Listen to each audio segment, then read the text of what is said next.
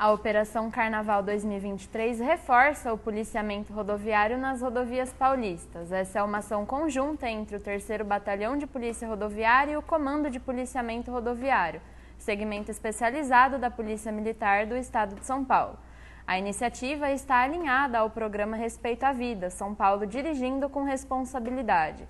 Durante todos os dias, o policiamento vai buscar sedimentar condições de trafegabilidade mais seguras conscientes e humanizadas, com foco na fiscalização da questão comportamental do motorista, objetivando salvar vidas e diminuir os sinistros.